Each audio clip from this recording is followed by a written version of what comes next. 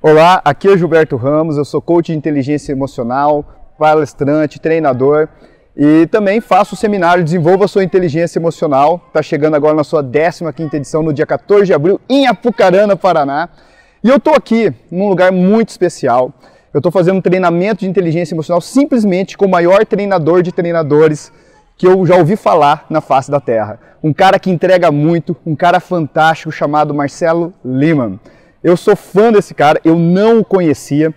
E eu venho, eu tenho um produto que entrega transformação para as pessoas, mas eu senti que eu cheguei no teto, não passava daquilo. Eu falava, tem que haver algo mais.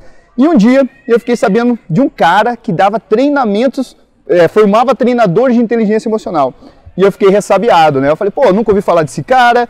E fui fazer minha pesquisa básica. E aí eu conheci, eu vi grandes players do mercado falando muito bem do treinamento e que esse treinamento levou esses grandes players para um próximo nível. Falei, bom, né? Então vamos aí. Se você quer ser tubarão, tem que nadar com tubarão. E eu vim fazer esse treinamento. Eu estou aqui hoje em Atibaia fazendo esse treinamento de formação de treinador de inteligência emocional. E eu vou te falar o seguinte: eu não investi num treinamento, eu investi em tempo.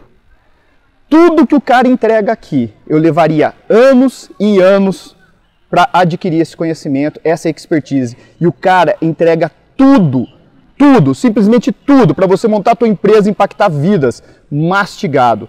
Anos de expertise, mastigado para você. Então eu investi em tempo e em erros que eu sei que eu vou deixar de cometer porque ele já te previne de antemão. Então assim, ó, Marcelo, não sei se você vai assistir esse vídeo, eu espero que sim.